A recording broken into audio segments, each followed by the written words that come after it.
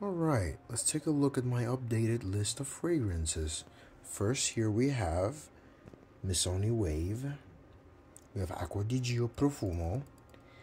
Jean-Paul Gaultier, Le Male Le Parfum. Parfum de Marly, Layton. Montserrat, Black Vanilla, Eau de Parfum.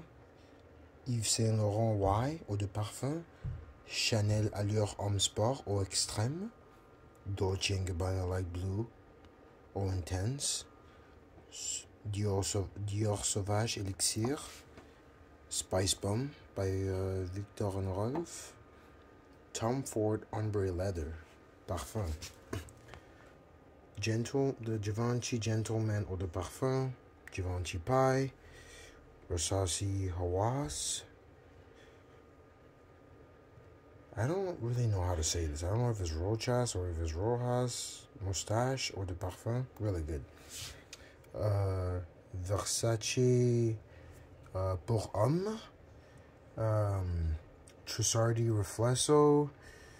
Uh, Gentleman. Yep. This that that's the Gen, G, Givenchy Gentleman or the Parfum Boisé.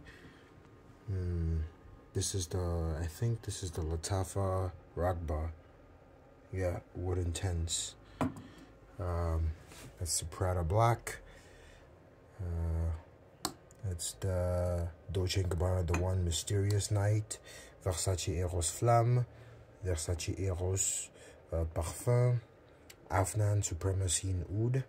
Uh, Jean-Paul Gaultier Ultra Male. Uh, Aqualigio... Uh, no, not Aquagio. Armani Code Absolu. Uh, Narciso Rodriguez Bleu Noir. I think this is the parfum. Yep, it is the parfum. Uh, La Nuit de l'Homme Eau de Parfum. Jimmy Choo Man Intense. Dolce & Gabbana The One Eau de Parfum. Uh, Bulgari Wood Essence Eau de Parfum. Uh, Club de Nuit Intense Man uh, Aqua no, Armani Code, Eau de Parfum. This is Mont Blanc, Mont Blanc Legend, Mont Blanc Explorer, Davidoff Cool Water, uh, Paco Rabanne, 1 Million Elixir, Parfum. Yep, so that's my fragrance. Uh, 37 in total, and my goal is to have about I want to say 60 by the end of the year. So fingers crossed. Yep, I know. I'm a burgeoning uh, fragrance addict. I'm unapologetic about it, man. Fragrances are amazing and it's such a vibrant world. You know, I'm so